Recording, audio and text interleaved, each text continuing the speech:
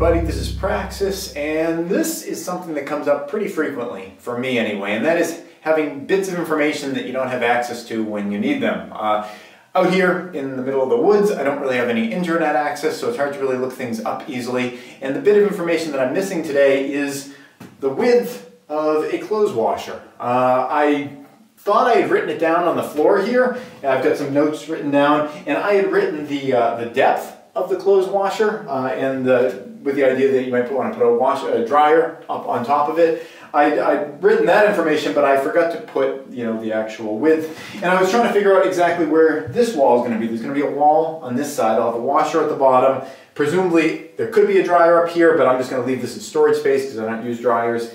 Um, and then on the other side here is a sink. There'll be a sink right here. So the plumbing comes from the washing machine down through here, it joins in with the sink over here.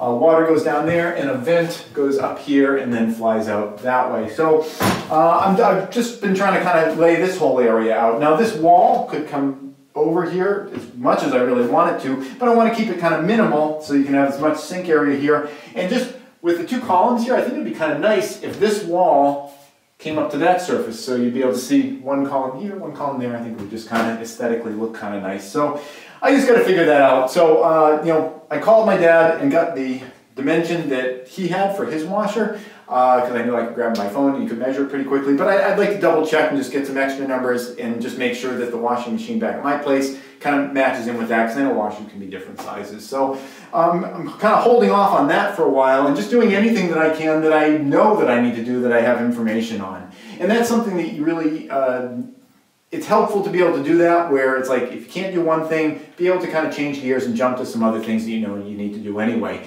My primary goal right now is to do all the stuff that the plumber needs to have done before the plumber can come in because until the plumber's done, I can't do the electrical. Until I do the electrical, I can't finish, you know, boarding up the other side of these walls because you need to leave them open for electrical work and, and electrical inspection.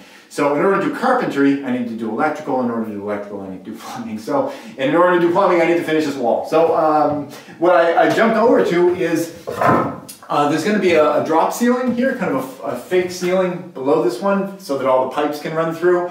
And I need to be able to nail boards onto something. So I've got these pieces of scrap and they're going to be nailed right here about a little more than three quarter inches up from the bottom surface. So we'll be able to have three quarter inch boards on the bottom. These are just uh, scrap floorboards. I had little scrap pieces which were too short to really use for anything else. So I took these guys, cut them down in half, and these are going to be great use of scrap to kind of hold all this. So I'm going to get all that stuff nailed in. I was able to get the 2x4s. I went out to the store. People were, there were a lot of people that seemed pretty sick, like people are going out and working still, even though they're coughing like crazy. There were at least a couple of those. I stayed well away from those people.